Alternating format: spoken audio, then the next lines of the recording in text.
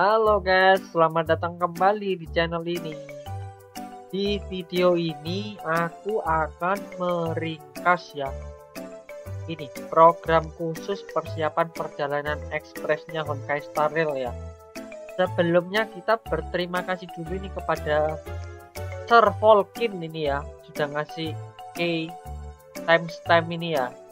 Dan ini ya Nin dibuka ya memang kalau kalian ini nonton dari awal ini memang isinya cuma bacot doang guys.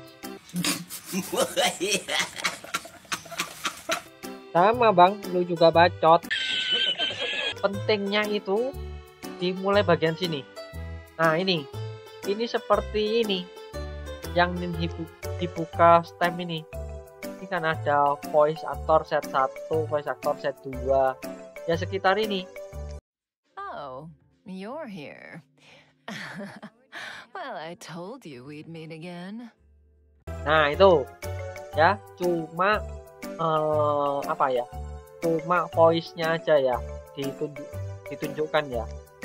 Terus mulai menit ini lagi sebenarnya penting di sini. Nah, di sini guys, di menit 16 ini ya. Ini mereka ngasih tahu kalau ada tiga race utama ya. Tiga race utama di Xianzhou. Nah ini nama race-nya ya. Vidyadhara, Foxian, dan Xianzhou Native ini ya nah ini ras Vidyadhara ini punya bentuk dragon horn ini ya sama buntut. Nah itu ini, ini buntutnya ya. Di sini ditulis ya kalau ras ini healer excellent healer ya.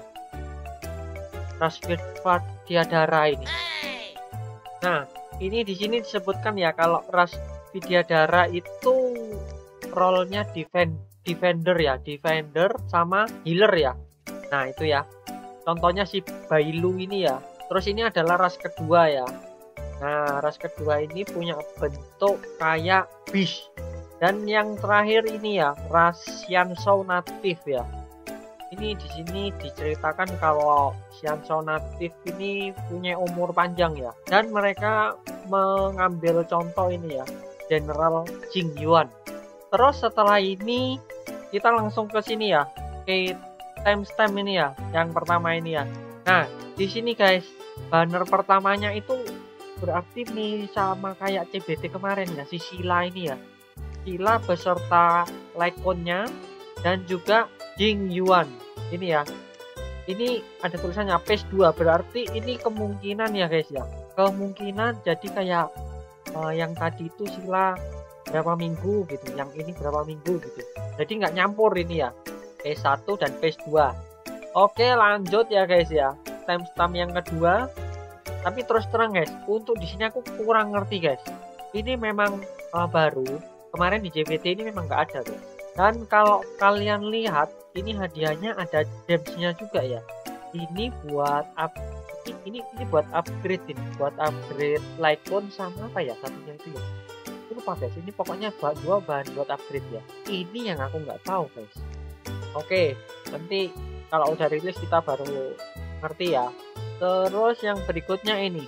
Nah ini guys, di sini kita dapat total satu kali multi ya 3 4 5 6 7 8 10 sekali multi login selama 7 hari. Oke next ke timestamp berikutnya. Nah ini guys. Ini ya trailblaze level. Kalau di Genshin tuh AR ya ini ya guys ya. Lewatnya. Dan ini kalian nggak usah khawatir ini permanen guys. Jadi kalian santai-santai aja ini semua pasti dapat. Ini gacanya bukan yang di limited ya guys ya. Kalau yang ini ya ini dapat tiket. 1 2 3 4 kali multi. Ini gacanya bukan untuk yang di limited tapi yang di standar banner. Oke okay, next. Nah di sini guys. Ini timestamp ini aku matiin kamera dulu ya. Kita coba sama-sama dulu ya guys ya. Soalnya aku nggak punya aku nggak pakai webcam guys. Ntar ya kita matiin kita coba dulu. Oke, ini karena apa ya? Ini webnya ini nggak bisa diklik ya, serius deh. Aku nggak tahu caranya. Jadi pakai scan QR dan ini adalah web event. Kita coba yuk. Nah ini guys tampilannya seperti ini guys. Kalian nanti login ya. ada itu di pojok kiri kiri sini atas ini kalian login terus kita pencet yang ini guys DIY tiket guys di sini kalian di uh, maksudnya ini suruh bikin background gitu loh guys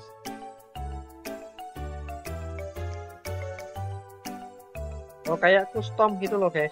Oke lah gini ya. Coba selesaikan DIY oke. Jadi kalian cuma bisa sekali ngedit terus nggak bisa diedit lagi. Nah ini guys. Kalian dapat kursi eksklusif gerbong 5041 baris 55 kursi B. Itu ya. Kalian pencet warp ini ya. Ambil. Ambil. Bagikan event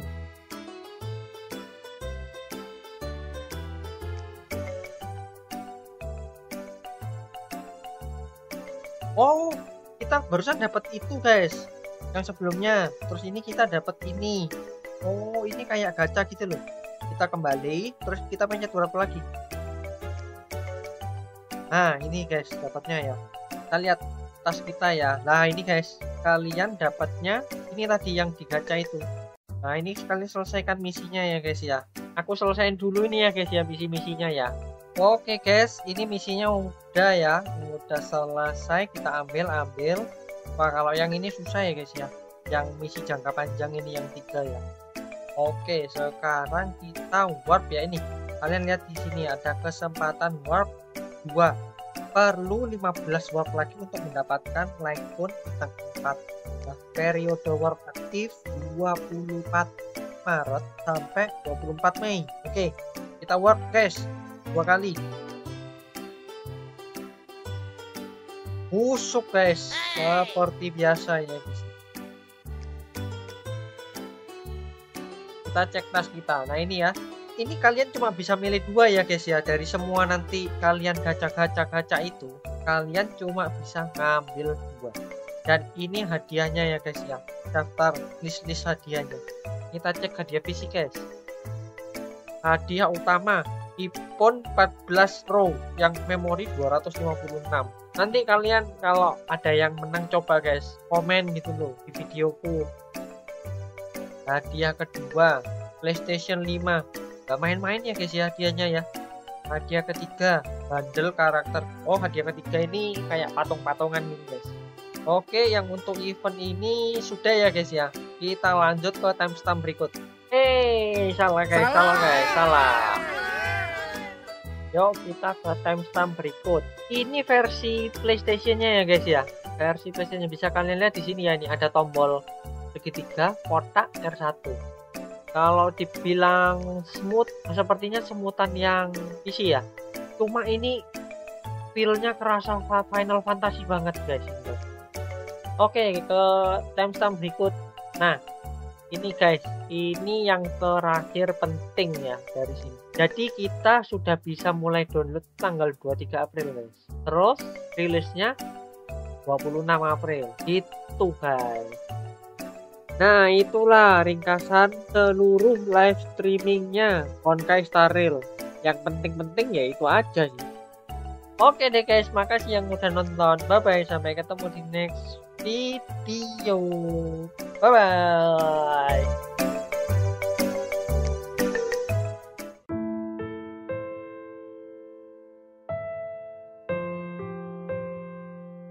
Guys, jangan lupa subscribe, like, comment, dan share.